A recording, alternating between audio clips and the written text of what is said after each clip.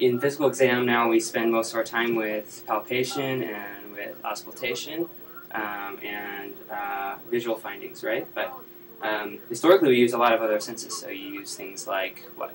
What have we done that's outside of those three senses? Smell. Yeah. So what do we smell? Uh, like for diabetics, you can smell their breath. Right.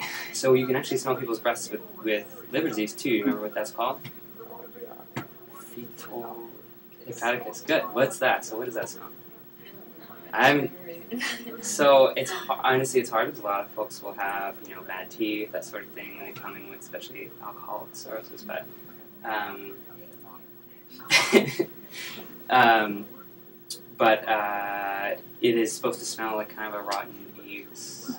So it's called it's caused by dimethyl sulfur or something dimethyl dimethyl sulfoxide or something like that. It's a sulfur based compound and it's actually a sign of portal hypertension. So anything that causes portal hypertension basically bypasses the liver, just like ammonia and like everything else. And it, so I don't know. I don't know any values on that. He didn't. He didn't cite any like ratios or anything, but probably useful, maybe useful. Most likely, you're going to see other findings if you see that. Um, so good. Uh, so there's been a proposition that you might be able to smell bilirubin too. So if you just So it's actually not even all that unpleasant. It's sort of like burnt toast, and it's like a food odor, like butternut squash. I don't know really what it is, but it smells. There's a smell there. Um, so do you guys want to just take a take a quick smell, see if you smell it? It's pretty subtle, and I think it's one of those things you can Rorschach a little bit. You smell anything? No, not Okay, really. go ahead. Did you wash your face recently?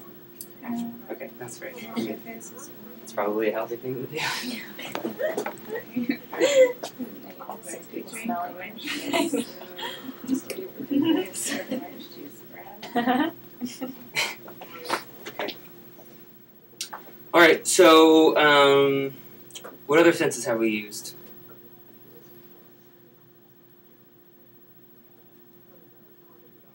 You mentioned diabetes.